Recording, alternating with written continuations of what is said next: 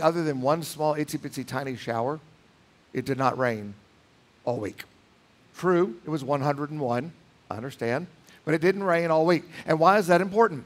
Because there's this place we went years ago called Crystal Springs. There's several things I remember about that place. Um, one of was the we worshiped in their gymnasium. It had no air conditioning at all. And during worship breaks, not only was the food in the walk in cooler and the walk in freezer, people were in the walk in cooler and the walk in freezer just trying to stop sweating. Then they'd return to the sweat box and wait for another break so we could go stand in the coolers and the freezers. It was horrible, horrible. But that wasn't the biggest problem.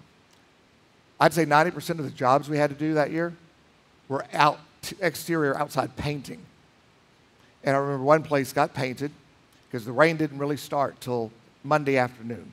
And when it started, it poured and it poured and it poured and it poured day after day after day with the whole week. And some people were working on this one house on Monday. And they were painting their little hearts out, making progress. And the look on their faces was not priceless, it was horrible. The rain kicked in. Not a sprinkle, a rain. And when it kicked in, they got to stand there and watch as everything they just painted slid down the wall. So, the one thing you don't want on mission trip, if at all possible, is rain. Because it knocks out jo- jobs that are for lawn care and it knocks out jobs for painting. It was a great trip. Uh, it was awesome. I, I look forward to next year. Always look forward to the one yet to come. Now, one thing that was, um,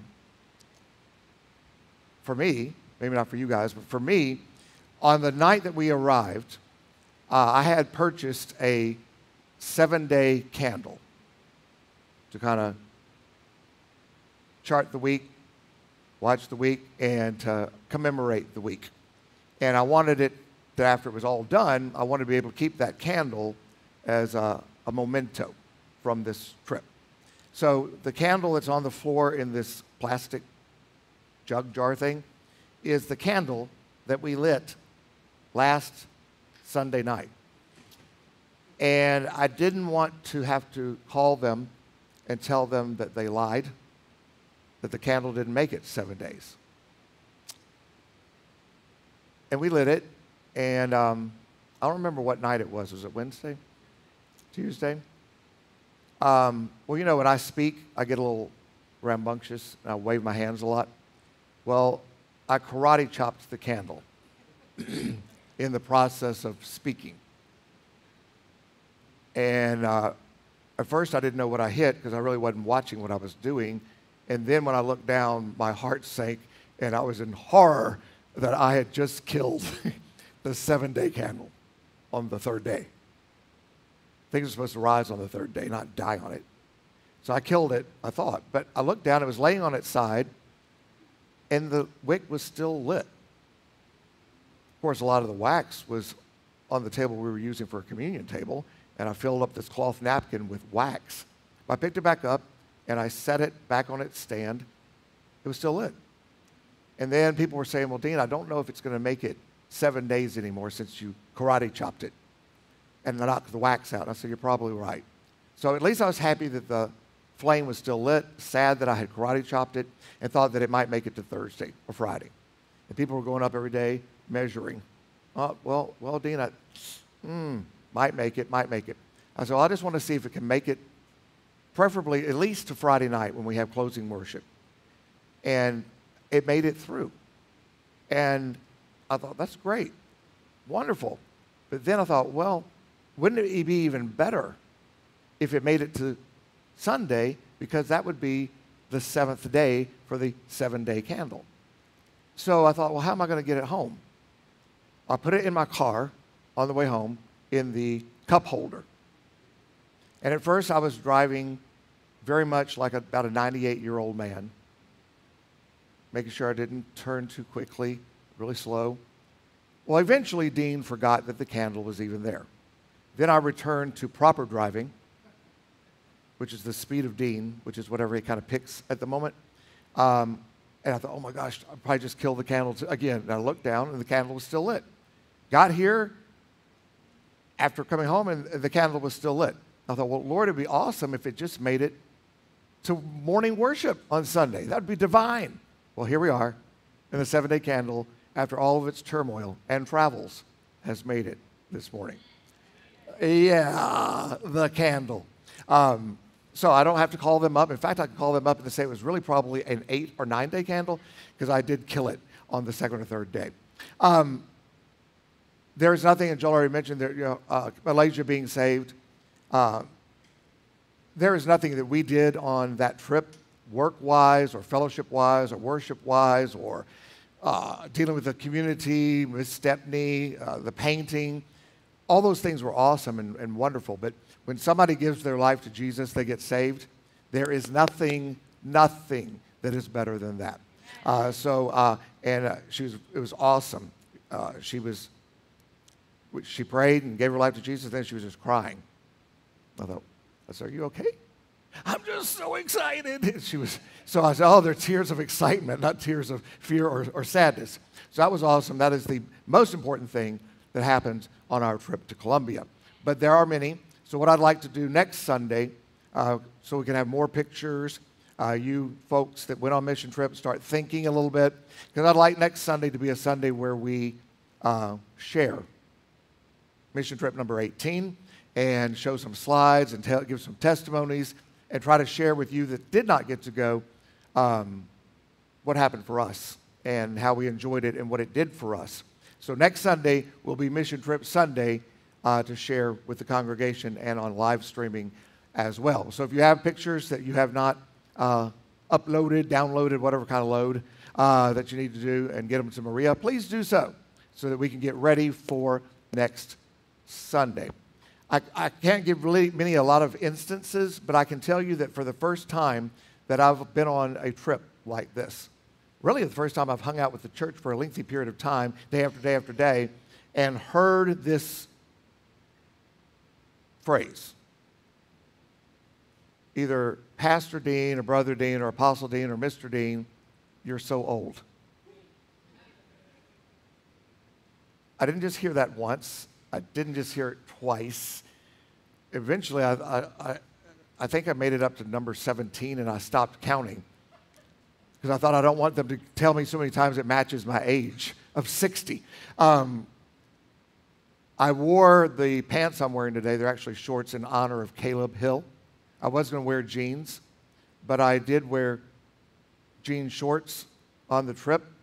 He said, Oh my God, I can't believe you're wearing jorts. And I said, Wearing what? George. I said, George, George. I, had no idea what the man was talking about. He said, you know, jean shorts, jorts. Uh, he said, I would never wear those. He's acting like I would never be caught dead in those things. So, no, I did not run and go change clothes either. This is what I said Caleb, I'm old. Let me be old. I can wear jorts. And I also want to show you that it's true that when you get old, I always thought when I looked at old men over the years, they have hairy legs, but the bottom part of their leg is not hairy. And I thought, well, maybe they just wear too tight at socks and it rubs the hair off. And uh, Michelle told me, no, Dean, that's, that's part of you getting old. That's what happens to old men. Eventually, most all the hair on your legs will be non existent, and it starts at the bottom and works its way up. So, um, yes, folks, I'm old, but I'm still alive and God is good and uh, things are great. So, um, uh, oh, one other thing. Um, I got told I was kind of old last night because some of my children got together and they wanted to buy me, I think they're called AirPods. I have one in my ear. Um, I keep wanting to go get a Q-tip because I think my ear stopped up, but it, you know it's it's there. And I didn't realize it talks to me. Every time I get a message, text or WhatsApp, it starts talking in my ear. Uh, so I said, How do I turn it on? And where does it charge? And my children were just kind of like shaking their head, like, Well, well, can I can I talk on my phone with this in my ear? Yes, Dad. You don't even need your phone. You just hit this. I said, Where's the button on the thing? And they just all kept giving me eye rolls and, and sighs and exasperations. And I said, Well, Joseph, what, how do I do this and this and this with it? Dad, you could go to YouTube and, and watch something about it. I said, Well, you know what I'd prefer is for you to just tell me what to do with it. I don't want to go watch YouTube. I don't want somebody on the screen tell. I want my children to say, This is how it works, punch here. I still can't find the button. I guess you just hit it and hope it, hope it does what you want it to do. Uh, we'll find out. And I was going to put both of them in my ears last night. I said, Well, Dad, you don't really need to do that either. You only need one. And then when it runs down in battery, you put the other one in. I said, So I have to carry them with me. Yes, and in the case. So um, now I'm an old man with an AirPod. And not only the AirPods, they're AirPod Pro. I have no idea what the difference is, but I got AirPod Pro. Um, so I know ministry is about to change radically because I've moved into the uh, 21st century and I'm 60. Be that as it may, let us continue. The theme for the week was for such a time. Now, my daughter Erin admitted yesterday while we were eating dinner that she kept calling our trip because she didn't get to go. She thinks she's pregnant or something, uh, and she did not get to go. And she said, I kept calling your theme Once Upon a Time. and like she really thought, I guess, it was Once Upon a Time. I said, no, it's more like Cinderella or Beauty and the Beast. Um, but it was not once upon a time. But once upon a time, we did go on a mission trip to Columbia, and our theme was for such a time as. Now, if you, if you know the scripture, it comes from Esther, and it continues on to say, for such a time as this. So all week we talked about time and seasons and what does God want and uh, kicking things into gear, listening to what we're told, and that God calls us to very specific times in life and ministry. And um, we need to be ready to seize the moment and grasp the call, go full steam ahead and not dilly dally, and do what it is we need to do that God is telling us to do. We'll share more about that next Sunday as we share about our mission trip. Oh, I did. I, oh, oh, oh, oh. Um, I forgot to make an announcement that Erica told me to announce. There will be no women's Bible study tomorrow night because she's getting her wisdom teeth chopped out tomorrow. And she kind of knows that some of that was sort of what I wanted to do as a living instead of pastoring. Uh, God said no. I did offer to chop them out for her for free because that would bring me great enjoyment. Not because I want to torture Erica, but the experience of chopping out teeth excites me. Uh, and I offered to do it for free.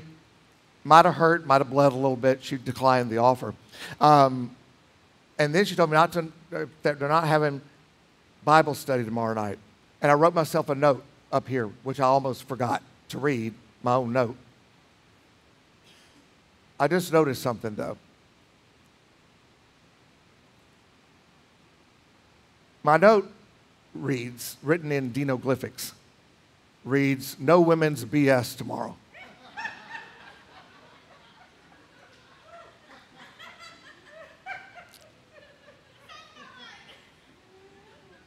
So, ladies, you're not going to have any BS tomorrow or any Bible study. Got it? Good. Um, we're going to talk about two experiences and situations that Jesus dealt with. You've heard these stories millions of times, uh, probably. But as we look at for such a time as this, we're not really talking so much about what we want, but what God wants. And we also learned on our trip that you should take everything you do, and God wants to be intricately involved in everything that you do and see how it kind of fits into the, to the plan. Well, we're not that different, ladies and gentlemen, than people who lived 2,000 years ago. The, they often thought the same type of things. they often dealt with the same type of things. They were not as te- technical, technologically as advanced as we are, or as I'm becoming. Um, but life was life. So, Jesus, in Mark 17, starting with verse 7, or Mark 10, starting with verse 17, um, Jesus was about to have an encounter with some, someone. And obviously, it was a very memorable encounter because the gospel writers put fairly detailed story, a truth, as they were writing the gospels.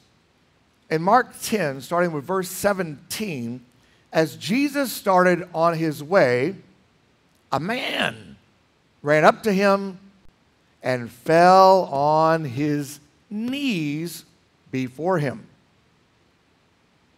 Good teacher, he asked, what must I do to, in, to inherit eternal life? Stop. Jesus was a man on a mission, but notice he had time to stop along the way and handle business. He did not reject the people. He would stop, even though he was a man on, he knew exactly where he was headed, what he was doing, and then he, people would come up to him, I'm sure, all the time. Well, this very wealthy man came up to Jesus, and he didn't just say, Hi, Jesus. What's, what, you know, I think the expression is, What's up? There's none of that. He just ran up to him and fell on his knees. Why? Because he obviously realized that this guy he was dealing with was not any ordinary guy, but he's from God. He asked the question, What must I do to inherit everlasting or eternal life? He said, Why do you call me good? Jesus answered, No one is good except God alone. The point was, Jesus is God. You know the commandments. Come on. You should not murder. You shall not commit adultery. You shall not steal. You shall not give false testimony. You shall not defraud. And honor mother and father. Teacher, he declared, all these I have kept since I was a boy.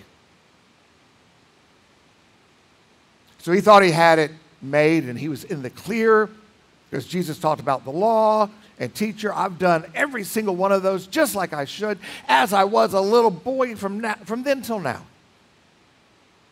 So I'm sure he was quite happy and pleased. He thought he had gotten the answer. He thought that that was, that's probably where Jesus is going to wrap it up. Follow these laws and you've got it made. I've done that. And sometimes we only want to grab from Jesus what we want. We don't wait for the rest of the story. We don't wait for God to finish his statements. We don't wait for God or Jesus or Holy Spirit to tell us more detail about what we're called to do or supposed to do. We take, once we hear something we like, we stop. But I have learned over the years that oftentimes we hear things from God that we like, but how do I know sometimes very much so when it's definitely of God? I don't want to do it, or it's going to be hard, or it's going to require me to sacrifice something. It's going to make me do something I'm not really either ready for or want to do. That's how I know, ooh, that's got to be a God thing. Because it's going to take God sized power and I don't want to do it. Well, he didn't, he didn't want to hear the rest of the story, but of course, Jesus, being Jesus, finished. Jesus looked at him and what? Loved him. And see, we think that God stops loving us when we're naughty or disobedient. God does not stop loving you. He never stops loving you. And He will not love you any more tomorrow than He does today. He didn't love you any more yesterday than He does today. His love never ceases.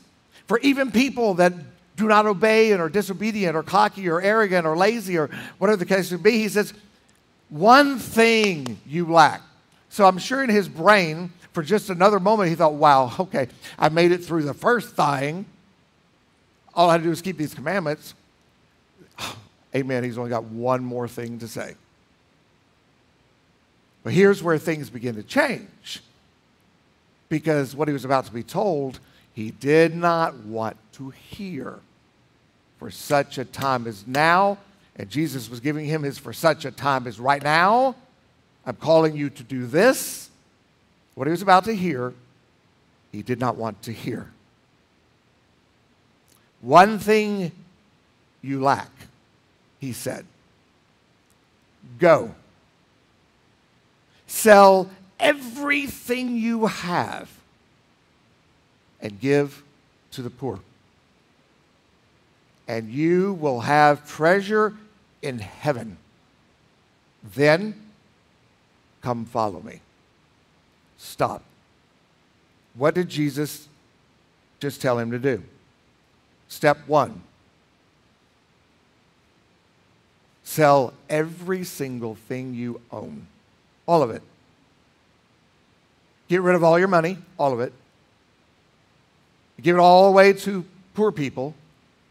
And after you have completed that first step, I need you to come back to me and follow me.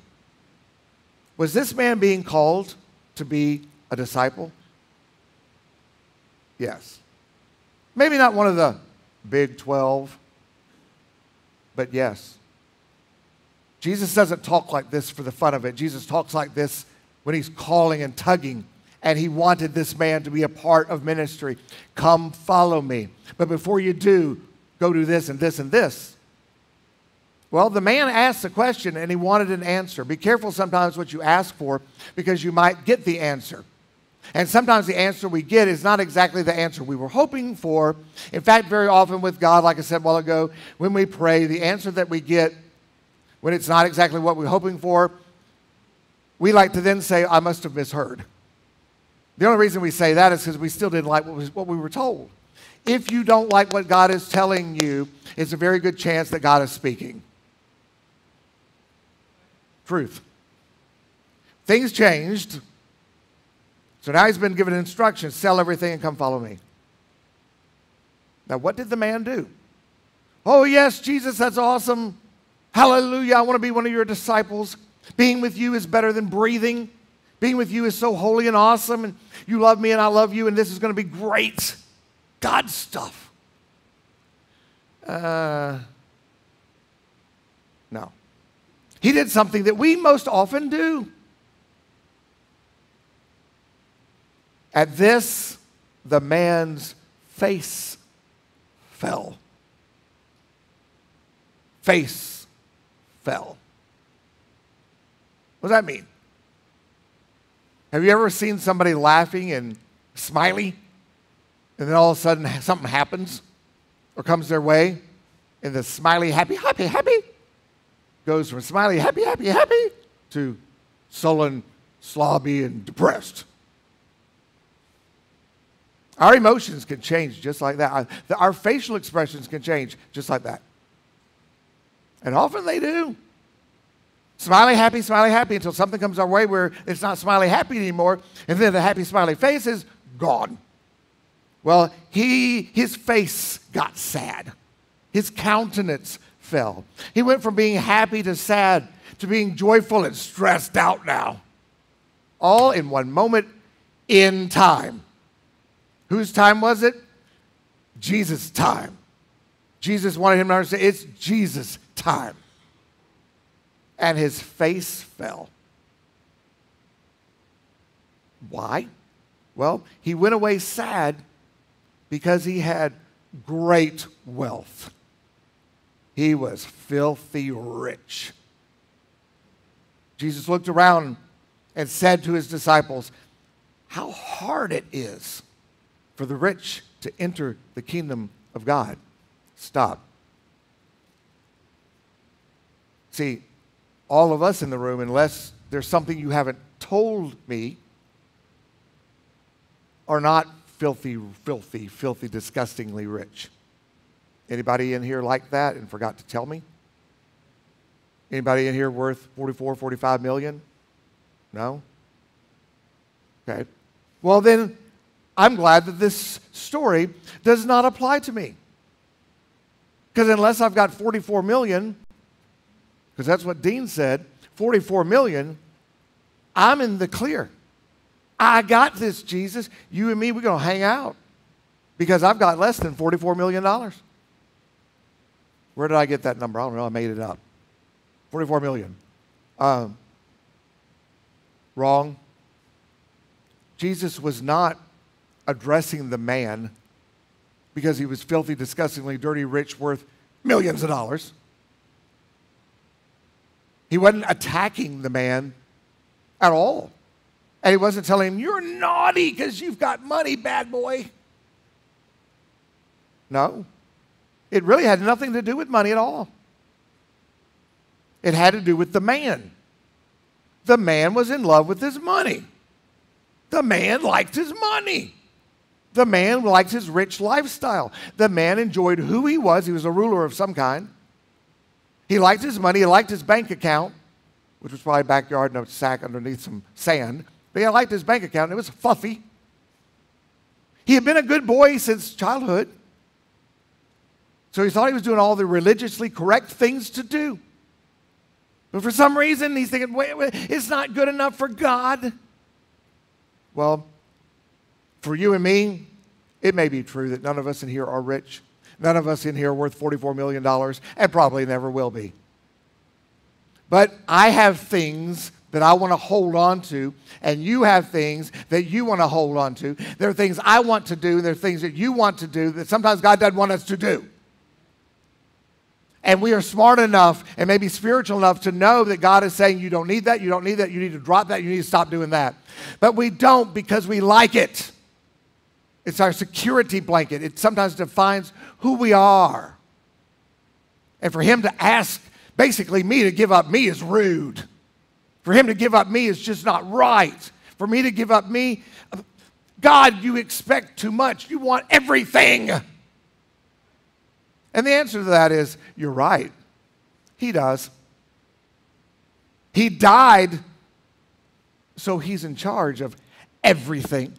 He rose again for you, for me, to deliver us from death and let us go live in the heavenlies. He has the right to ask whatever he wants. And not only does he have the right to ask whatever he wants, he has the right to get whatever he wants. From all of us, Dean, you, uh, all of us. He has the right to expect to receive everything he wants. But a good chunk of the time, in fact, most of the time, we do not give him everything he wants.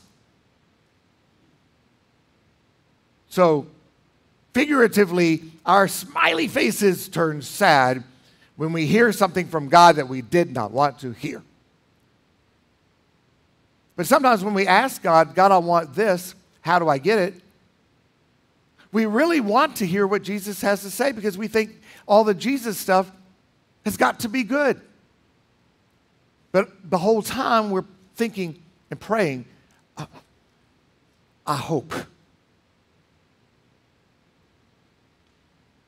I hope that what I'm about to hear matches what I want. Lord God, I'm pray to you, and I want, I, I want this in my life, and I want to see more of you. Tell me how to do it. But please, Lord, let me hear what I want to hear. Please, Lord, let me get what I want to get. Please, Lord, don't mess up any of my plans. Please, Lord, don't, don't, don't, don't expect me to do that which I cannot do. You know I'm weak. You know I'm strong. You know I'm this. And I, I just wish you would pay attention to who I am and what my needs are and take all that into consideration before you give me your answer.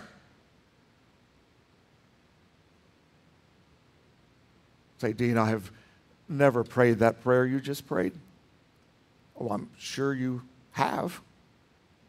You may not have used all those words, but it was what you were thinking or feeling. And God's smart, and He knows what we're thinking and what we're feeling, and so we might as well say it.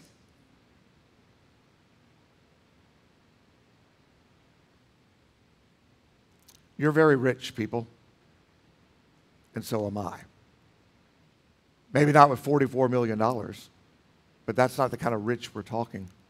We're talking about the kind of rich that we've inherited or been blessed with in life, and that stands in the way of God getting what God wants. And please do note, for those of you who see yourselves as impoverished, no one in this room today is impoverished. None of you today are eating grits tonight, macaroni and cheese tomorrow, and uh, a pile of rice the next day, hoping to just survive. If you own a car or you rent a car, you own a house or you rent a house, you own an apartment or you rent an apartment, you own a condo or you rent a condo, you're filthy, disgustingly rich in comparison to the rest of the majority of the world. But again, God's not talking about money here so much. He's talking about anything unique to me that stands between me and Jesus and to let me not step out in such a time as this and do what he wants.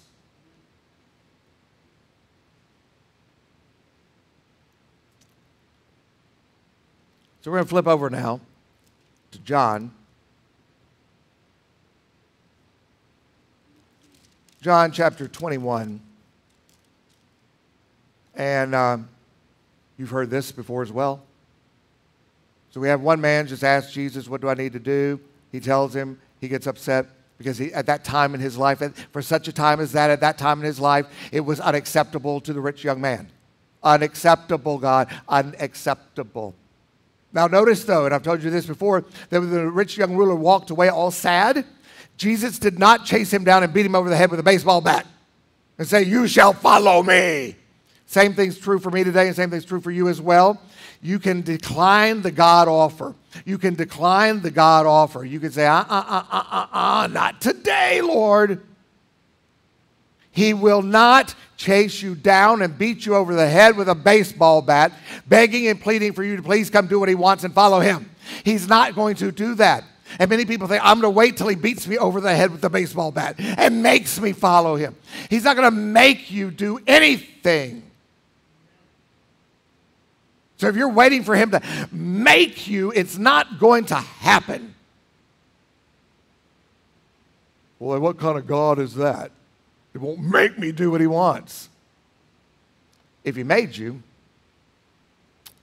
you would be a slave, not a servant. If he made you, you would have no free will and no choice. God wants you to choose. Choose you this day who you will serve. And Joshua said, As far as me and my house, we will serve the Lord. Choose. Oh, God, can I choose later? This time will come, and this time will go. And you do not know if this particular offering from the Lord or set of instructions will remain two weeks from now because God is going to keep on moving till he finds who will listen to him and do what he asks. That's for me, that's for you. Chapter 21 of John. Early in the morning, Jesus stood on the shore, but the disciples did not know. They didn't realize it was Jesus. He called out to them, Friends, haven't you any fish? This is after Jesus rose from the dead. No, they answered. He said, Throw your net on the side of the boat, right side of the boat, you will find some. When they did, they were unable to haul the net in because of the large number of fish. Then the disciple whom Jesus loved said to Peter, It is the Lord. As soon as Simon Peter heard, Peter heard him say that, It is the Lord, he wrapped his outer garment around him, for he had taken it off, and jumped into the water. This time he did not walk on water, he jumped into the water. The other disciples followed in the boat, typical, towing the net of full fish, for they were not far from shore, about a hundred yards. When they landed, they saw a fire of burning coals, and there were fish on it, and some bread. And Jesus said to them, Bring some of the fish you have just caught. Remember that word caught. Simon Peter climbed back into the boat dragged the net ashore. It was full of large fish, 153. But even with so many, the net was not torn. Jesus said to them, Come and have breakfast. None of the disciples dared ask him, Who are you? They knew it was the Lord. So obviously, Jesus looked a little bit different after resurrection. He was probably in his partial holy glorious self. But they dare not ask, Who are you? Peter already jumped in the war, into the water. John already acknowledged this is Jesus. The rest of them were sitting there with their mouths hanging open because they didn't expect to see Jesus, even though he told them, I will raise on the third day. He told them that. And they still didn't listen and they still didn't believe. And they went on doing what they wanted rather than what he told them to do. And then when he showed up, it was like, whoa, it's really Jesus. Wasn't expecting that. Why not? Why were they not expecting what he said would happen?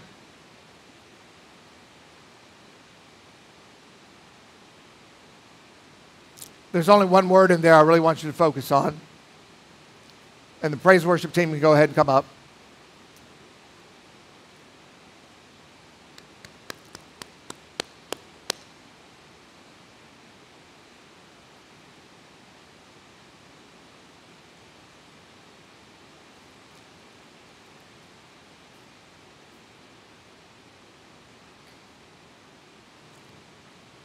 Verse 10 Jesus said to them, Bring some of the fish you have just caught.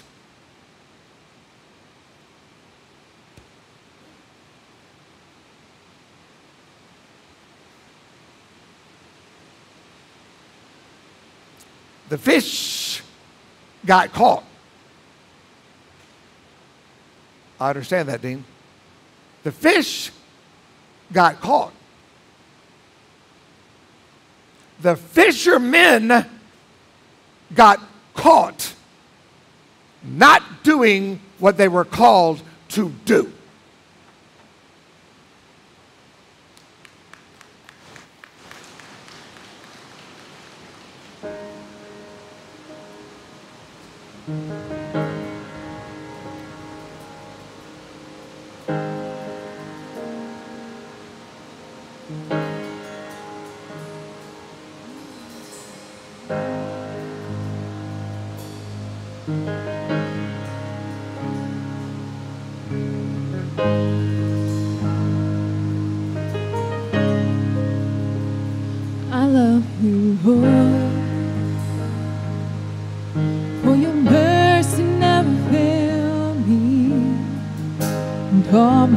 All